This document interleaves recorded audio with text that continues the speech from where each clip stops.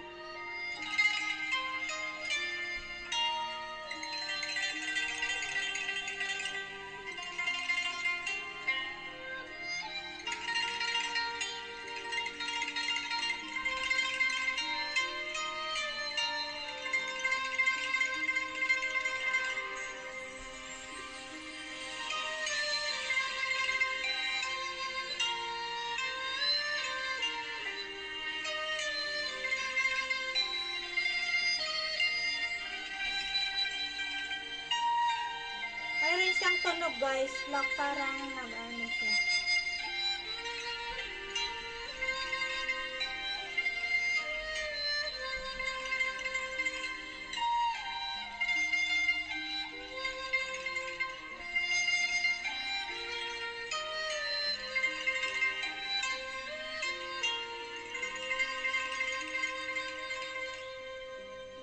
Dapat hanggang dyan lang. Huwag masyadong tapusin guys. Huwag ubusin lahat. Para hindi kayo masunog.